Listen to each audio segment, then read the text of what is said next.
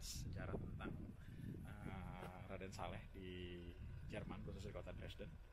Ya, kita bersama Duta Besar Republik Indonesia dan rombongan mau mengetahui tentang kehidupan Raden Saleh pada saat tinggal di Dresden kurang lebih selama lima tahun.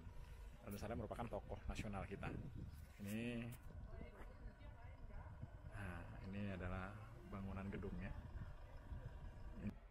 Kita ada di Museum Sejarah Kampung Maxen, di kampung ini merupakan uh, kampung pada saat tinggal ya, Raden Saleh. Uh, dan kita akan melihat uh, cerita tentang Raden Saleh di kampung ini. Yuk kita masuk ke dalam museumnya.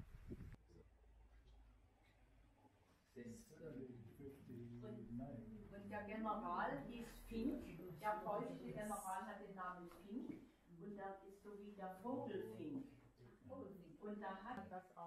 aber erworben und uns als Dauerleihgabe. Inzwischen ist er verstorben, es gehört, es ist das wichtigste äh, Original, was wir hier in Maxen haben. So this is original. Yeah. And he liked to do write it in different scripts. Here we have Javanese and European script. Very often uses. Javi as well. Ya, 29. Yuk. Und das ist kurz vor seiner Abreise 1849 gewesen. Und hier die Dia, Übersetzung. dia steht rawatnya auch gimana? hier. Cuma dipakai pas this was minyak doang. the last man. Ini Raden Saleh fotonya zaman dulu kok beda banget ini. Ah ini ini ini temannya nih. Nah. Oke, jadi dulu Raden Saleh pernah tinggal di kampung ini ya, kampung Maksen. 10 tahun. 10 tahun di kampung Maksen. Bukan lima tahun ya? 10 tahun ya? Wah. Ini. Tapi kelihatan. Iya ya. Kita sekarang lagi menuju ke Margelium Buat sama ini sama Raden Saleh ya. Ya yang desain itu ya.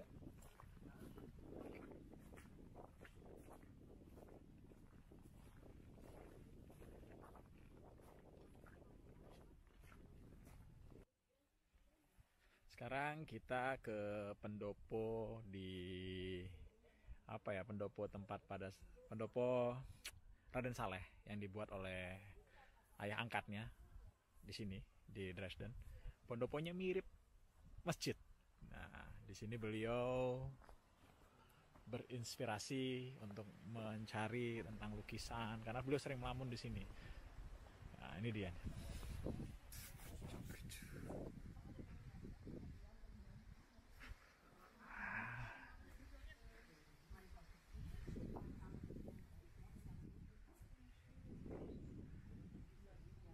Vor 2011, das kenne ich, ich bin ja hier schon seit 2010. Naja. Wenn Sie mal sehen, was wir von der Geschichte Ja, haben. ja, toll.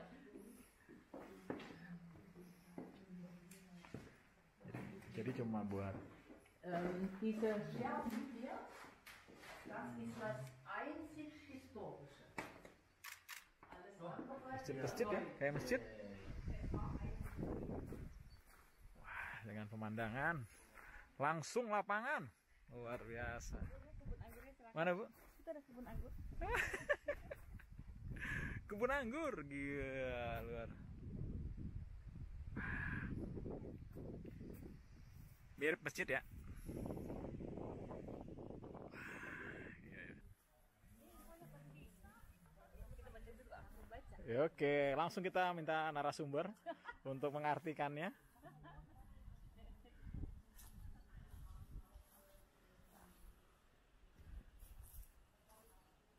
Ini cerita, cerita sejarahnya bu ya. Ini ya, ini mengenai yang tadi kios Moshe ini Ah.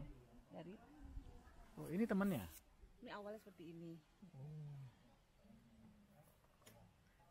Inilah jejak-jejak Raden Saleh di Dresden. Di Saikna digambar oleh HC Hans- Hans Yang menggambarnya? Anderson. Heeh. Tahun 58 kios. Oh bukannya Raden Saleh yang Lito, litografi. Eh, enggak di di oleh yang ini atau ini nih? Oh, an- yang kiri oleh HC Anderson link. Hmm. Yang tengah-tengah litografi atau nggak tahu siapa sebelah kanan oleh Wolman Oh, arsip on Wolman Ya, cerita pembangunannya dulu ya. Oh, ini lah Oh ini udah dirapiin, diperbaiki nih. Iya, sempat runtuh kan sempat runtuh tahun 1971 ya, dirapiin lagi, maksa dibagusin lagi. Pantesan, nggak mungkin kan sampai bertahun-tahun. iya Rapiin lagi.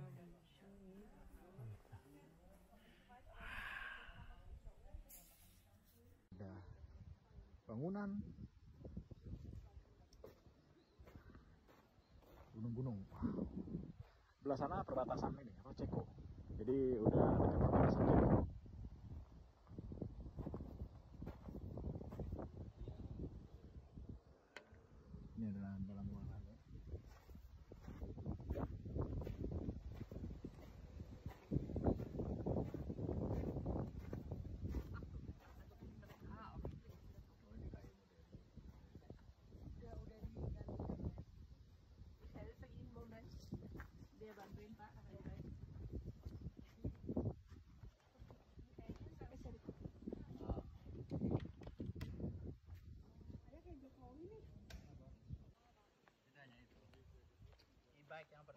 Ini Pak, e-bike.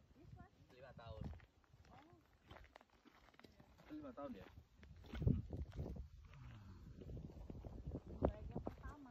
apa iya Ya, kita Kita kita kita baru aja tadi uh, mampir ke Pondopo rumah uh, ke berapa Bu? ya? Raden Saleh tahun Ke Raden Saleh ya. Raden Saleh Kangko ya, Kangko. Jadi pondoponya mirip masjid, ya kan? Nggak- tapi bukan masjid. Itu beliau untuk mengambil mendapatkan inspirasi untuk melukis pada saat itu. Oke, kita lanjut lagi ke mana lagi Bu? Sekarang? kita ke istana istana tempat bangsawan tempat Orang eh, tua, angkatnya. Oh, dia dia di ini ya dia uh, diangkat sama bangsawan ya. Nah, berarti kita ke kastelnya, ke istananya, yang angkat Exactly. Itu pada apa saat namanya? jadi anak angkat. Siapa namanya Bu?